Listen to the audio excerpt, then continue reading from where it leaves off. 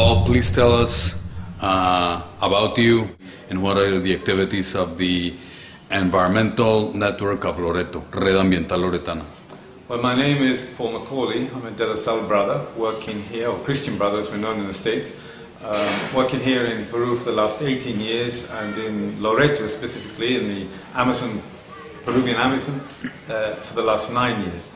And five years ago we founded the uh, Loretan uh, Environmental Network, which we in siglas in, in Spanish we call the RAL, we founded it precisely to have some vigilance over the use of the natural resources here in Loreto and also to uh, look after the human rights of those who live amongst the natural resources, particularly the riverside people and the indigenous people. What has been what are the major challenges for the future of the forests of Loreto? Loreto is a very big region. Could you please tell us what's the size of this region? We're talking about uh, Loreto would be about uh, probably a third of the size of, well, not quite, let's just say about a fifth of the size of Peru. It's a huge region uh, which still has some excellent forests. A lot have been damaged, but there's still a chance to save some of them. Uh, the biggest challenge is one, to have a legal management of the forest, and secondly, to have a management that includes the local people as actors and not just as workers who are left poor. Um, we've got a system that's corrupt, uh, a system that works on a chain of exploitation, where a, a small cupula, uh, a small group in Lima, in Pucallpa, or in the international community earn huge amounts of money from the wood and simply exploit a whole chain right down to the people who actually live in the communities. Uh, they're deceived in terms of the measures of the wood, the size of the wood, the value of the wood. Um, they never get out of poverty, and yet they're living in an extremely rich area. So, illegality and corruption are the biggest challenges we've got. The international community is very interested in CITES species, those specifically for Peru are mahogany and cedar. Could you please tell us a little bit about what's been the experience in Loreto? Right, well, those two species basically are, are finished. In terms of commercial uh, logging, they're finished. Uh, in terms of uh, vigilance, INRENA has been one of the accomplices in the illegal uh, extraction of wood. We had 20,000 uh, cedar logs uh, stopped over a year ago, precisely because of the intervention of CITES. But once uh, the national body INRENA actually took control of that wood, within a short space of time, it was then liberated to the international market, and that wood has been stolen from Loreto with all the blessing of the Peruvian national uh, protection system. So I'd say that the international community are not doing a very good job. And um, in terms of uh, really blocking the illegal system in Peru, they need to do a lot more and I'd say they all need to think about the other species in danger, which are the human species.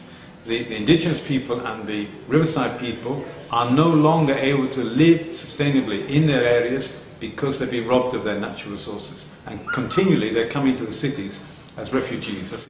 Could you please tell us a little bit about the story uh, that you were telling us before in Spanish about the Amazon area? That you went, you went to court with this. Right, exactly. The, uh, when in, in 2004, when the uh, forestry concessions were launched in this area, uh, we put in a legal uh, claim saying that they were illegal in our area for two reasons. The, they'd never done any studies, environmental studies, as to the impact of the forestry concessions here, and when they did them, they sold them off at 30 cents per uh, hectare, which is 30 cents for two and a half acres.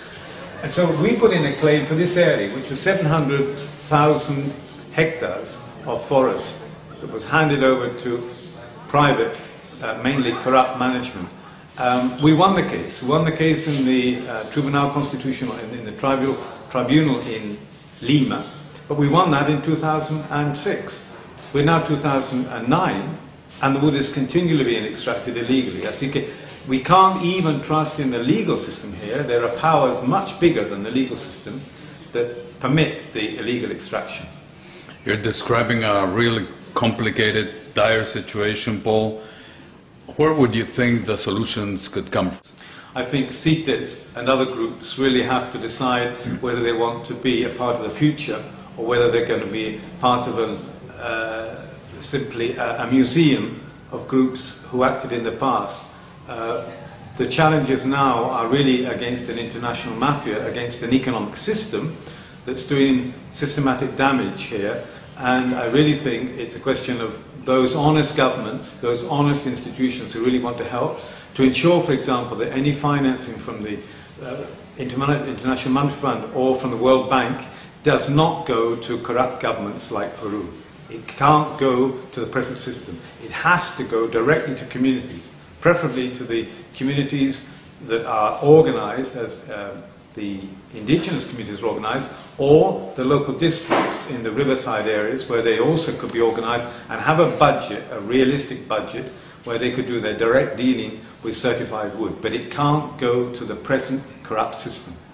Now, Paul, the, the last few weeks we've seen in Peru the horrible situation of these massacres uh, where people have been killed, policemen, indigenous peoples, uh, all because of the struggle of these groups against these laws that are going to be having a direct impact on their lands, on their resources. What can you tell us about the situation? What's, what is going on in Peru? What's behind all this? Why, why are people dying in that way, trying to defend their lands? What's, what's at stake here? What's at stake basically is, particularly in our area, this area that you can see here covered with the, all these areas in green are the areas that are considered to be available in the future for forest exploitation. Um, the, in, on top of this, there's another map that perhaps you, will see in another moment, where the petrol lots, all the petrol lots are on top. Every square meter of Loreto is covered by petrol lots. So we've got two big problems. We've got an exploitative system of the forest, which benefit a small uh, mafia, uh, international and national, and we've got a system of petrol exploitation, which is irrational and incredible uh, expansion in petrol uh, exploitation. Um, so I'm afraid the, the situation is extremely serious, and it's a consequence of the desire of this government to get online for the international, the TLC, the um, trade agreement with the United States, and make sure that the investors can get in and work without any problems. You just mentioned that the, the free trade agreement with the US, that free trade agreement has its own forestry chapter. How can this, I mean, comparing this current situation and the fact that there's a new government, new administration in the US, there's this good opportunity with this forestry chapter, how can this be used currently to help curb this horrible situation? Everything that's going on here is driven by the international market. Everything. Whether it's the wood, whether it's petrol, or whether it's the future of drinking water in the rivers. So the responsibility comes from the market. The only thing that the present government in Peru understands is economics and quick profit. And quick profit for a very small group. So investors, foreign investors get excellent conditions.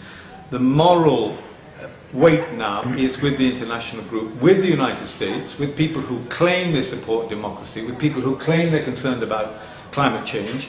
They've now got a chance, the United States, to really put weight against this Peruvian government, against policies which are bringing tremendous damage, not only ecological damage, but economic damage to people who desperately need development, but they don't need development where they continue to be what we call here peones, simply workers paid by the boss. They need to be participators. They need to have shareholders or shares in the future of this area. And that means a change in the economic system. But the responsibility is with the market. What's your perception, Paul, with this whole climate change role that the Amazon forest could have in helping solve the problem?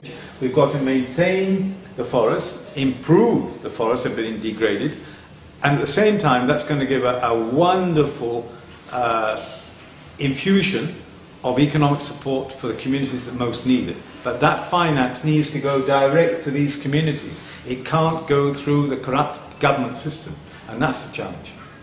Thank you very much.